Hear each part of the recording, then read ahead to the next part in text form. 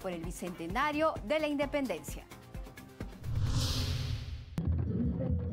Las fiestas patrias en Tacna serán también una fiesta de sabor y tradición. ProPerú lanzó oficialmente la vigésima quinta edición de la Feria Perú Mucho Gusto en la ciudad heroica, que se realizará del 26 al 28 de julio en el Parque Perú, ubicado en el distrito de Pocoyay.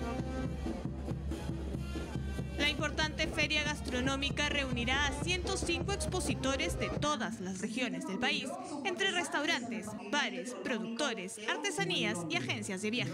Hoy venimos con mejores shows, sí, con productos artesanales, este, actividades sociales, obviamente, pero y lo más importante, una gastronomía espectacular de las 25 regiones de nuestro país.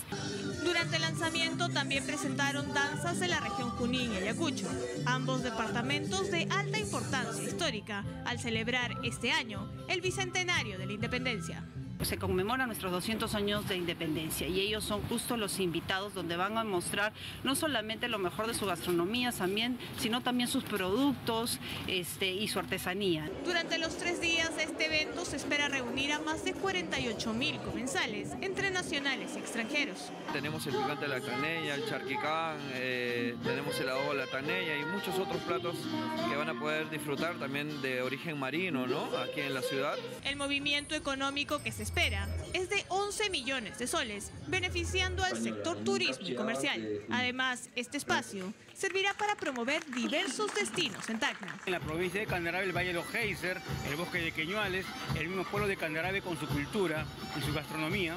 En Tarata tenemos el camino Inca de Tarata, el tramo que se ha recuperado para el tránsito de turistas.